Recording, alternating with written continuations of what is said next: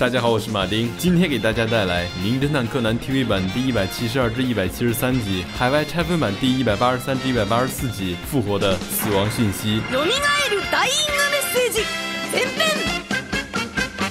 这天晚上，柯南和小兰像往常一样，陪四处找男人的原子来到了滑冰场。在那里，他们偶然结识了五个喜爱飞碟射击的小伙伴，分别是千金大小姐千寻、银行员康志、职场美女佐野、家庭主妇赖子以及胡子拉碴的消防员玉田儿。这次聚会其实是他们五个人半年以来的首次会面。半年前发生了一次意外事故，大小姐与佐野的关系也是因为那一次事故而一落千丈。看着柯南很感兴趣的样子，大小姐的故事刚起了一个头，就被玉田硬生生怼了回去，然后气愤的头也不回的走了。看着玉田远去的背影，大小姐莫名其妙的说了一句：“玉田就是个异类。”又看着大家被这句话搞得一头雾水，童心未泯的大小姐还卖起了关子，借口要上厕所，趁机溜了。谈话期间，滑冰场的人越来越多，因为每到晚上七点，游乐场就会放烟花，而滑冰场是最佳的观赏位置。小兰他们也是冲着烟花来的。剩下的三个人当中，佐野与银行员康志也都随便找了个理由离开了，只有家庭主妇赖子留了下来。另一边，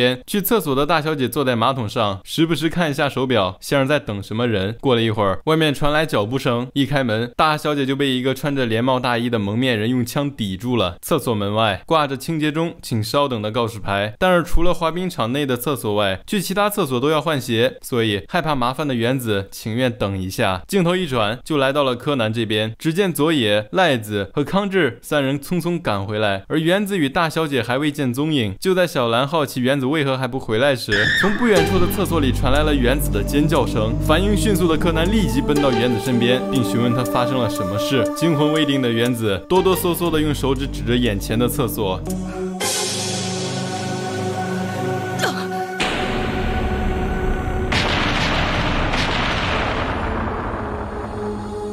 没错，大小姐被人杀害了，胸口中了一枪，脑袋旁用血写着一个字母 S。看见有案件发生了，小兰急忙跑去找毛利。然而，刚被小兰摇醒的毛利脑子还不太清醒，有人被杀了都能听成有人被开除。见状，小兰也不与毛利啰嗦，直接拽着毛利的领带奔向现场。与此同时，木木警官也赶到了现场。一看到柯南，木木警官就知道可以带领大家走迷宫的毛利也在现场。通过调查，警方得知凶器就是遗落在现场的那把霰弹枪，枪是佐野的。案发前，玩飞碟射击的五人一起将枪放在了电子柜里，密码大家都知道。而且佐野的枪是拆散了才放在枪盒里面的，就算别人知道里面有枪支，也不懂如何组装。因此，嫌疑最大的就是佐野、赖子、玉田以及康治这四个人了。木木警官本想用硝烟反应来锁定凶手。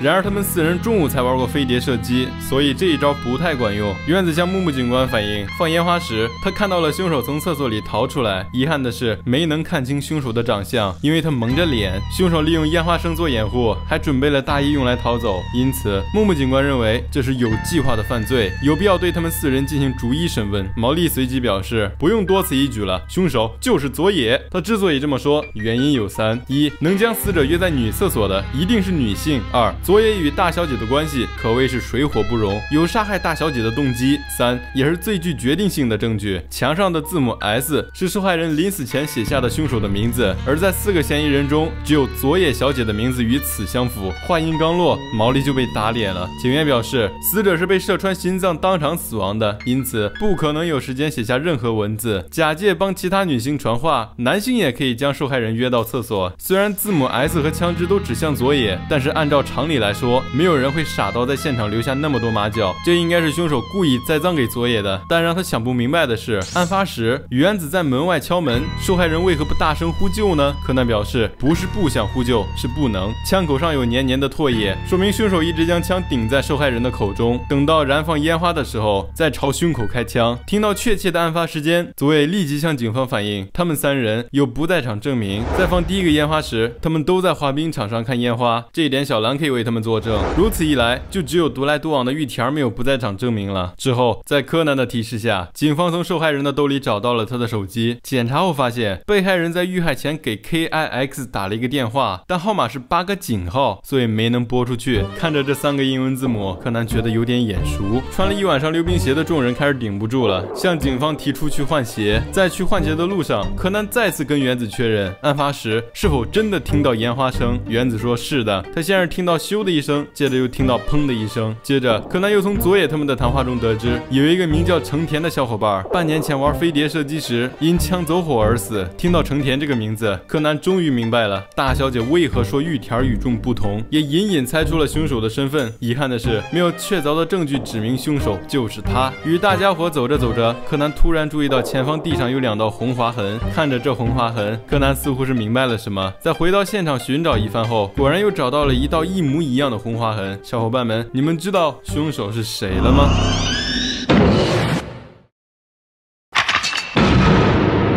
柯南正准备飙晕毛利，毛利就说他知道凶手是谁了。柯南也以为毛利真的推理出来了，哪知毛利一开口就将矛头指向了玉田儿，就因为他没有不在场证明。一旁的柯南都听不下去了，为了维护名侦探毛利小五郎的名声，急忙飙晕毛利，开始借他之口指认真凶。柯南表示，刚刚只是为了让真正的凶手放松警惕，实际上佐野才是真凶。拿自己的枪当凶器，以及留下字母 S，都是为了误导大家，因为按照常理，凶手是不会用自己的枪。行凶的佐野的不在场证明也是假的，只要利用一枚五日元硬币就可以完成放烟花的把戏。将五日元放在嘴唇边吹，声音变大就有点撕裂，跟烟花升起的咻声很像。随后原子在厕所外听到砰的一声，是枪声而不是烟花的爆炸声。当时正值放烟花之际，在这个时候发出类似烟花的声音，给人造成错觉也不奇怪。证据就是原子只听见一发烟花声，而今晚的烟花一开始就是红蓝黄三枚连发，从厕所到滑冰场不用三十秒。作案后，佐野完全有时间在真正开始燃放烟花前赶回溜冰场。如此一来，不但能为自己伪造不在场证明，还能将警方的视线转向玉田，因为他知道玉田是不会去看烟花的。但上面的手法谁都能做到，为什么偏偏说是佐野做的呢？其证据就在于大小姐临死前发出的死亡讯息。大小姐曾经说过，只有玉田是个异类，她指的是除了玉田外，其他人的名字都是机场的名字，比如死者姓伊丹，是大阪国际机场的别称。再比如家庭主妇。小松赖子正好是石川县小松市的小松机场，还有半年前自杀死去的成田是东京比较著名的成田机场。也就是说，除玉田外，其他人的名字都有一个机场相对应。而大小姐临死前发出的死亡讯息只有短短的三个字母 K I X，K I X 就是关西国际机场的代码。而关西国际机场位于大湖泉佐野市，但是佐野依然狡辩称，这也有可能是大小姐临死前想要陷害他。既然佐野都这样说了，柯南也只好上实锤了。案发现场，被害人左脚前地板上的那道血划痕，应该是凶手在墙上写下字母 S 时，滑冰鞋冰刀尖无意中碰到的。同样的血痕，在他逃跑的走廊上也有。所以现在只要检查一下佐野的鞋子，一切就真相大白了。事已至此，佐野放弃了抵抗，他承认了杀害大小姐的事实。他所做的一切，其实都为了给成田报仇。成田不是枪走火而意外死亡的，而是自杀。他之所以自杀，是因为他发现自己被好朋友玉田绿了，无法忍受女朋友和。好朋友所带来的双重打击的成田，最终选择了自杀。自杀前，他将这一切都告诉了佐野，但这一点随即遭到了玉田的否定。他表示，这一切都是大小姐散播的谣言。他其实喜欢的是佐野，他并没有与大小姐牵扯在一起。那天，成田致电他询问真相，但他正在担心因为感冒在家的佐野，所以三言两语就打发了成田。成田将这种态度视为默认，不久后便开枪自杀了。在佐野被带走前，玉田告诉他。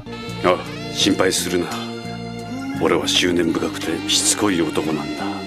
最后再帮大家捋一下情感关系：玉田喜欢佐野，佐野喜欢成田，成田喜欢大小姐。我估摸着大小姐在心里可能喜欢玉田，这个关系三角都已经不太够用了，还要再加一条边。而剩下的那两个人纯粹就是打酱油凑人头用的。以上就是名侦探柯南复活的死亡讯息的全部内容了。看完之后心里五味杂陈，可能玉田早点给佐野表白的话，沐浴在新一段爱情的阳光下的佐野，可能就不会做出这么过激的行为了。最后呢，希望喜欢马丁讲故事的朋友可以点个关注支持一下哦。well